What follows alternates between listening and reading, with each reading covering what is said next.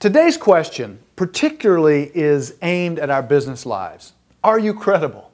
And of course, I mean in the eyes of your team. Do they trust your word? Do they feel that you're personally passionate, that you know what you're doing? I have a poem today by the great poet William Ayot called The Contract, which I think really speaks to this. It goes like this.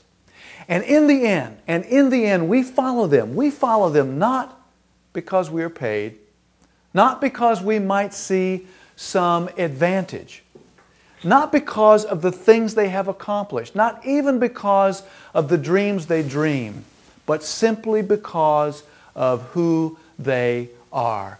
The man, the woman, the leader, the boss, standing up there, standing up there when the wave hits the rock, passing out faith and confidence like life jackets.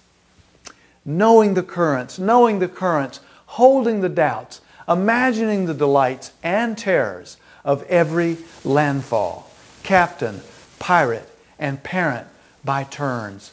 The bear of our countless hopes and expectations, we give them our trust, we give them our effort.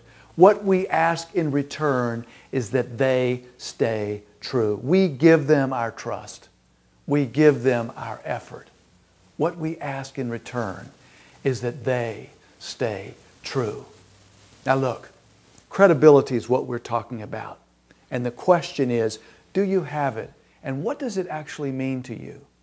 If you do stay true, as the poet says in this poem, if we can stay true, we can certainly inspire our people.